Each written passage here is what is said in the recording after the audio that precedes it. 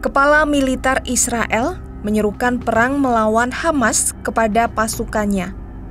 Seruan ini juga sejalan dengan langkah terbaru mereka yang menempatkan tank-tank untuk membombardir pasukan Hamas yang menguasai jalur Gaza.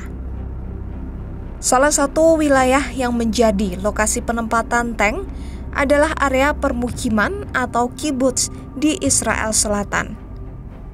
Para tentara Israel bersenjata lengkap dengan deretan tank disiagakan untuk berjaga di sebuah lapangan.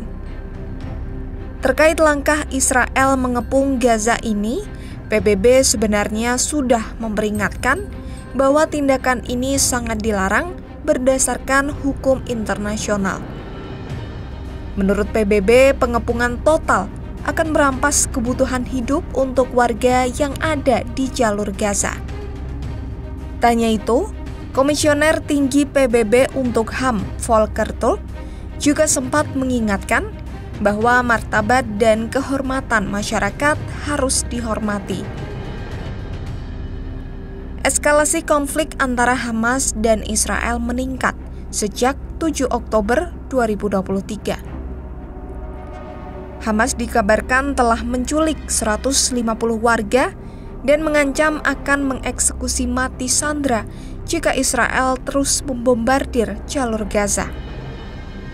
Tak mau kalah, Israel membalas Hamas dengan memblokade akses berbagai kebutuhan pokok, mulai dari listrik, air, hingga BBM wilayah Gaza.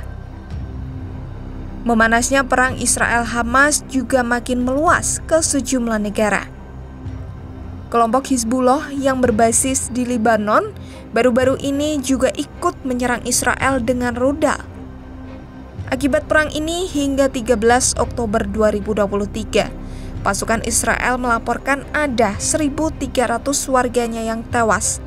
Sementara jumlah korban tewas pasukan Hamas naik menjadi 1.500 orang.